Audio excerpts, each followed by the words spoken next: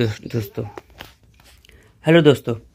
This is comedy academy और मैं भी आपको जा रहा हूँ बताने के लिए कि जो हमारा इग्नू का प्रोजेक्ट है, वो किस तरह से बनाना है? या फिर किसी भी, कोई भी प्रोजेक्ट होता है तो किस तरह से आप अरेंज करोगे? हर प्रोजेक्ट का एक ही फॉर्मेट होता है लगभग।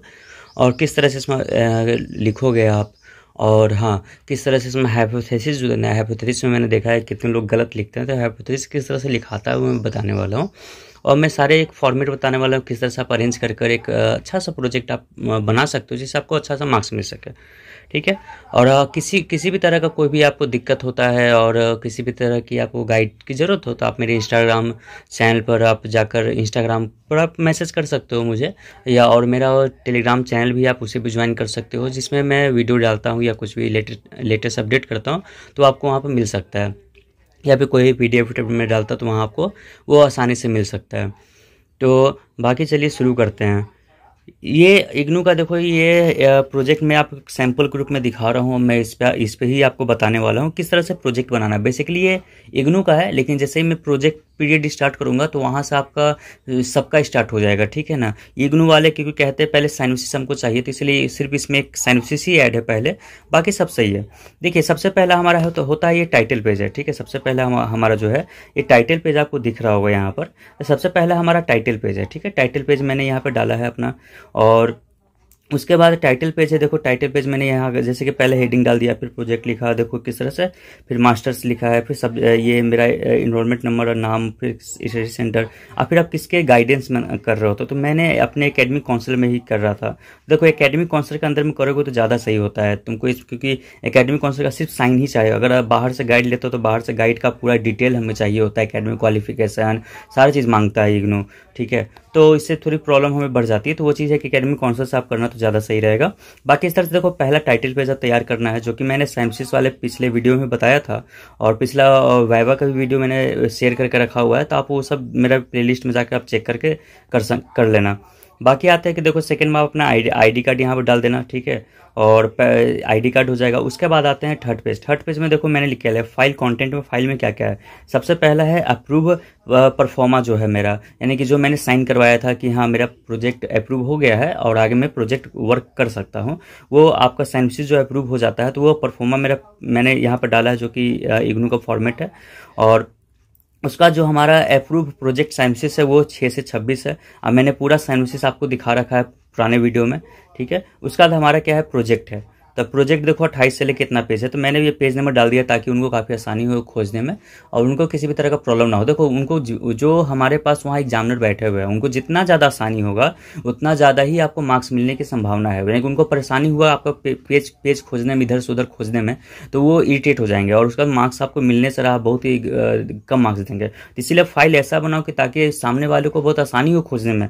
तो मैंने देखो यहाँ पर लिख दिया है तो उनको साफ़ पता चलेगा कि पेज नंबर चार पर जाएँगे तो मुझे मिल जाएगा। इतना इतने पेज नंबर छः से छब्बीस उनका साइनोसिस है तो वो आराम से देख लेंगे। अब प्रोजेक्ट अगर देखना है तो अट्ठाईस से एक सौ चौरासी में देख लेंगे। तो इस तरह से है। चलो, अब आगे मैं देखता हूँ तो देखो एक ये रहा मेरा अप्रूव परफॉर्मर रहा, ठीक है, जहाँ पे मुझे साइन मिला था। तो ये अप्रूव यहाँ पे लिखा हुआ है, आप वो देख सकते हो। उसके बाद मैंने यहाँ साइनोसिस है साइनोसिस आपको मैंने पिछले वीडियो में दिखा दिखा दिया था, जो इस बार मैं नहीं दिखाऊँगा। अब अब मैं आगे चलता हूँ प्रोजेक्ट पे। चलो, यहाँ से देखो प्रोजेक्ट है प्रोजेक्ट का मैंने यहाँ पे लिख दिया एक अलग से पेज में कि प्रोजेक्ट है, यहाँ से मैं प्रोजेक्ट शुरू होगा। यहाँ से देखो, सबसे पहला मैं, मैंने मैंने यहाँ से टाइटल पेज ही शुरू शुरू हुआ है मेरा। और टाइटल पेज ही है आपका, देख सकते हो ध्यान से कि टाइटल पेज है, यहाँ पे इग्नू का लोगों को सब लगा दिया गया टाइटल पेज है। देन उसके बाद मैंने यहाँ पे देखो कि यहाँ पे मैंने प्रोजेक्ट डेटिरेशन लगाया है। अगला जो हमारा फॉर्मेट है प्रोजेक्ट डेटिरेशन का, वो मैंने लगा दिया है, ठीक है? उसके बाद उसके बाद देखो ये इग्नू के इग्नू के हैंडबुक में सारा फॉर्मेट आपको मिल जाएगा, ठीक है? तो वहाँ से आप जाकर सारा फॉर्मेट कॉपी करके वहीं से लगा सकते हो, कोई दिक्कत नहीं है। आपको कि फॉर्मेट कहाँ से लेते इग्नू के हैंडबुक में पूरा फॉर्मेट दिया हुआ है लास्ट पेज में आप जाओगे तो वहाँ सारा अपेंडिक्स मिलेगा। ये रहा सर्टिफिकेट ऑफ़ ओरिजिनलिटी जिसमें साइन जो भी डालना है, सारा ये फॉर्मेट भी है मैंने मैंने किया, कर रखा है। फिर आपका सर्टिफिकेट ऑफ़ कंपटीशन है तो ये देख लो, यहाँ पर कम कंप्लीट मेरा हो गया। तो इसका वो चीज़ दिया हुआ, ये आपका सारा फॉर्मेट आपको मैं बार बार बताऊँ कि हैंडबुक मिल जाएगा।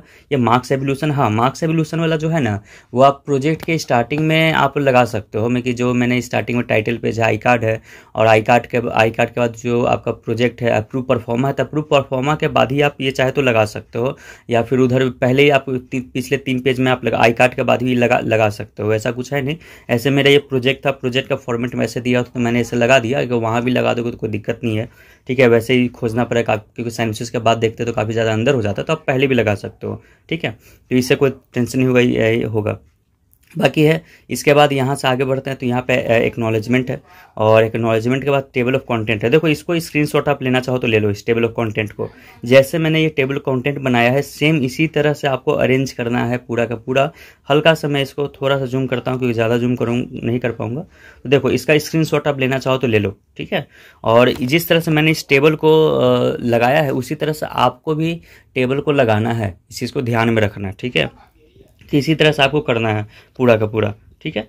तो ये ध्यान में रखना। तो इसी तरह से सारा का सारा करना है। देखो, मैंने सबसे पहले क्या है प्रोजेक्ट डिटेशन लिखा है तो किस पेज नंबर में है और सर्टिफिकेट ऑफ़ ओरिजिनलिटी किस पेज नंबर है सारा। फिर यहाँ पे देखो, सब एक्नॉलेजमेंट किसमें है एवोल्यूशन किसमें है, सारा चीज़ मैंने यहाँ पे लिखा है। चैप्टर वन हमारा, ठीक है? चैप्टर वन हमारा। चैप्टर वाइज हाँ इग्नू में एक चीज़ है कि आप जो भी चीज़ बांटोगे, ठीक इग्नू में इग्नू में क्या, किसी भी, कोई भी प्रोजेक्ट आप करते हो, हर प्रोजेक्ट में आप है, इसको एक चैप्टर वाइज बांट के ही आपको करना है, ठीक है? चैप्टर वाइज फ़र्स्ट चैप्टर में आप इंट्रोडक्शन डालो सेकंड चैप्टर में रिव्यू लेक्चर डालो थर्ड चैप्टर में आप ट्रेडिशनली एम हाइपोथेसिस क्या टूल्स क्या यूज़ करने वाले वेरिएबल्स क्या डाले हो, वो सब सारा का सारा लिखो। फोर्थ चैप्टर में आपका डिस्कशन होना चाहिए फिफ्थ चैप्टर में आपका कंक्लूजन और लिमिटेशन होना चाहिए। और उसके बाद लास्ट में आपका रेफरेंस होना चाहिए। रेफरेंस के बाद अपेंडिक्स होना चाहिए। अपेंडिक्स में बेसिकली होता यह है कि आपने जो क्वेश्चनायर यूज़ किया है, जो टूल्स यूज़ किया है, उस टूल्स को यानी कि आपको लगाना होता है कि आपने कौन सा क्वेश्चनायर यूज़ किया है। तो एक ब्लैंक क्वेश्चनायर आपको सबसे लास्ट में अटैच करना होता है, जिसको अपेंडिक्स के नाम से हम लोग लगा देते हैं, ठीक है? तो लगाना मत भूलना कभी भी। एग्ज़ाम किसी भी प्रोजेक्ट में, हर प्रोजेक्ट में ये लगता ही है नेसेसरी है, ज़रूरी है, सब सारे के सारे चीज़ें हैं, ठीक है?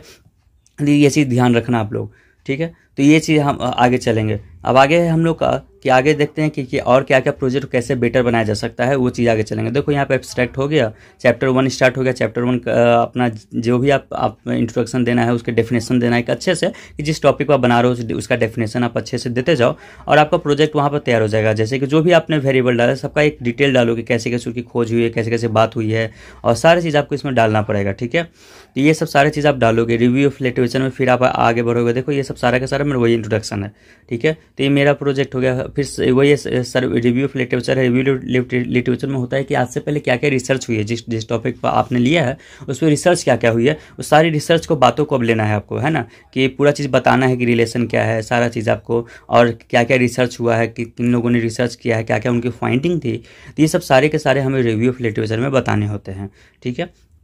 तो ये रिव्यू लिटरेचर है काफ़ी लंबा आपका जा जा सकता है, दस पेज भी हो सकता है, किसी का पंद्रह पेज भी हो सकता है। वो डिपेंड करता है कि वो आपका टॉपिक कैसा है, ठीक है? तो वैसा कुछ ज़रूरी नहीं है कि कितना लेंदी होना चाहिए था, ठीक है? फिर चैप्टर थ्री आता है। देखो चैप्टर थ्री आता है, सबसे पहले रैशनली है। तो रैशनली में मतलब कि आप क्या इसमें दिखाना चाह रहे हो बेसिकली ये सब सारे चीज़ें, जो बात आपको करनी है वो बताना है, ठीक है? वो चीज़ है। उसका ऑब्जेक्टिव आप इस प्रोजेक्ट के द्वारा क्या आपका ऑब्जेक्टिव है? क्या फाइंड क्या करना चाहते हो? बेसिकली वो आपको बताना है कि ऑब्जेक्टिव क्या है आपका, ठीक है? ये आपको यहाँ पर दिखा रहा है कि ऑब्जेक्टिव आपका क्या है मैं इसे जूम कर दिया है। और यू आपको कह रहा है फिर आपका देखते हैं कि एम आपके बारे में बात करता है कि एम क्या है आपका, ठीक है ना? ऑब्जेक्टिव तो समझ में आ गया। और एम क्या है आपका, ठीक है? तो एम आप इससे क्या फाइंड करना चाहते तो वो चीज़ है। और ये ये कर देना, अब आता है हाइपोथेसिस देखो हाइपोथेसिस आप लोग गलत लिखते हो, ठीक है ना? हाइपोथेसिस देखो किस तरह से लिखाएगा, मैं आपको दिखाता हूँ। जैसे कि मेरा देखो ये हाइपोथेसिस है।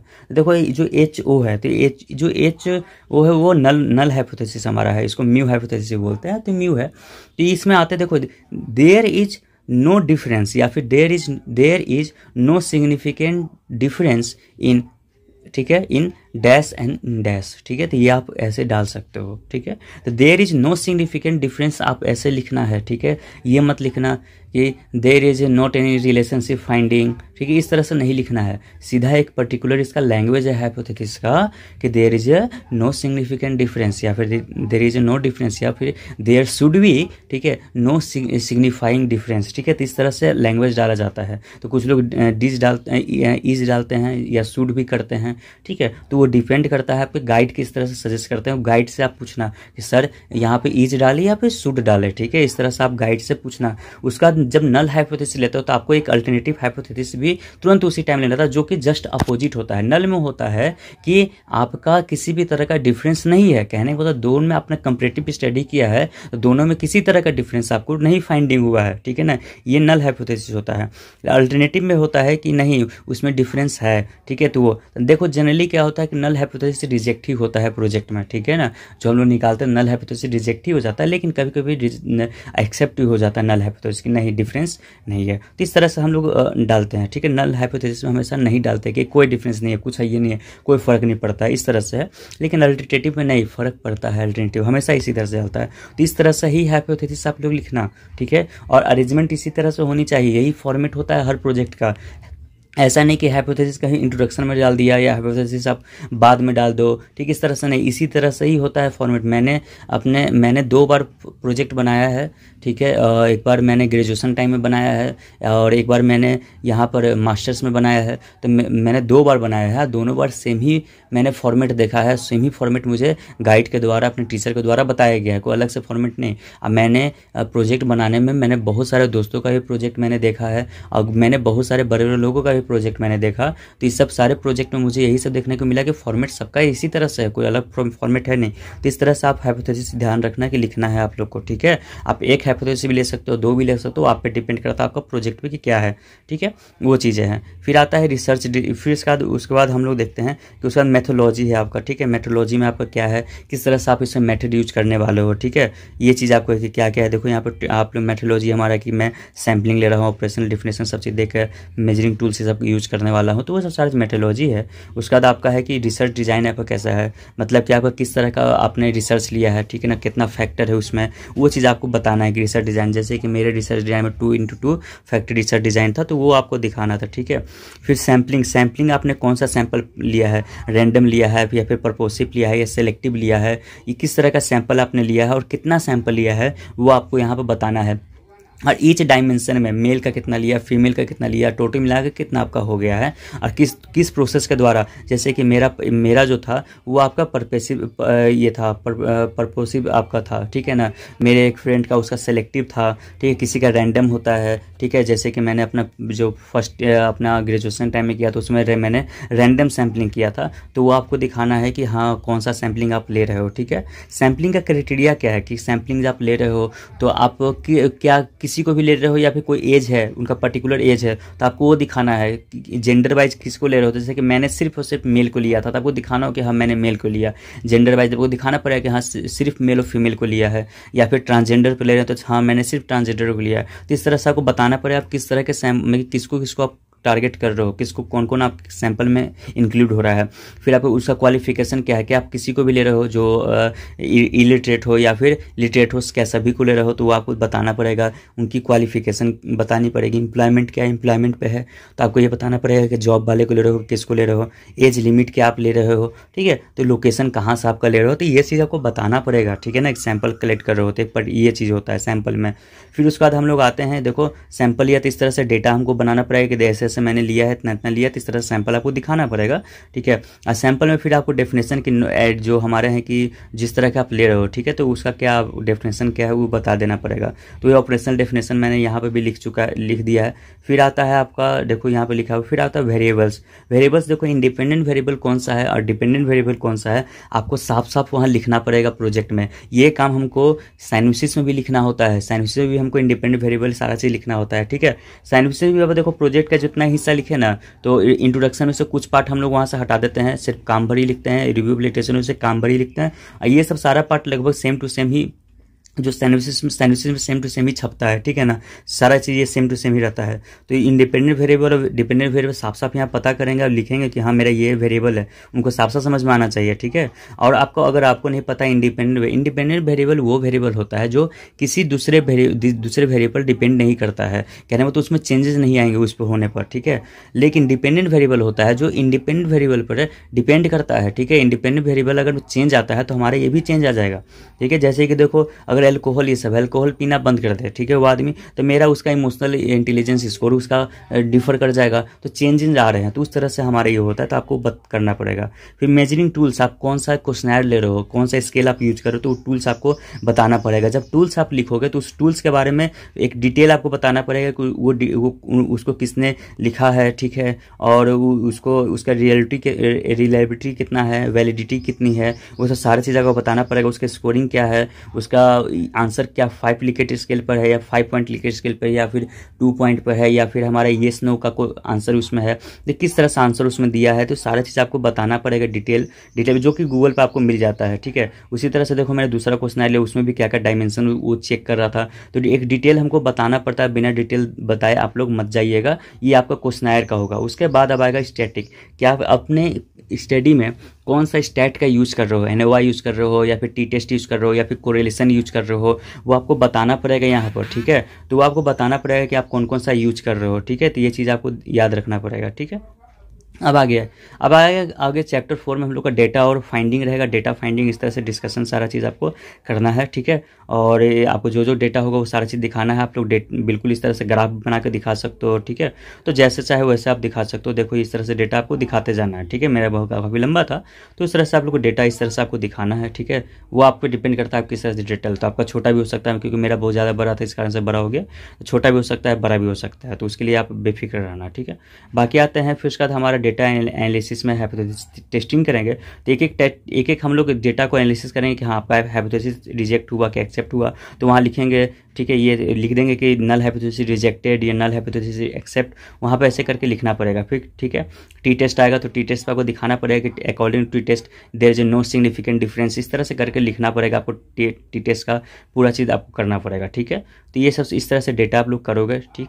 और बाकी उसके बाद हमारा जब हुए हो जाएगा तो फिर डिस्कशन करेंगे हम लोग। लास्ट पार्ट में डिस्कशन होगा कि हाँ ऐसे ऐसे चीज़ थी, क्या क्या चेंजेस आई हैं, सही में है कि नहीं है। उसका कंक्लूजन लास्ट में ड्रॉ करेंगे कि हाँ पूरे का कंक्लूजन क्या मिला है, ठीक है? तो इस तरह से हमारा बनेगा कंक्लूजन का। और फिर लास्ट में हम लोग का जो लिमिटेशन है या फिर लिमिटेशन देने वाले हैं तो वो डालना पड़ेगा। या फिर सजेशन आप लिखना चाहते हो तो सजेशन भी आप यहाँ पर लास्ट मैंने मैंने सजेशन नहीं लिखा है यहाँ पर कुछ भी, ठीक है? आप आपको लिमिटेशन मैंने लिख दिया तो उसी में मेरा सजेशन एक तरह से है। और बाकी यहाँ पर सजेशन भी आप डाल सकते हो। उसके बाद रेफरेंस है आपका, ठीक है?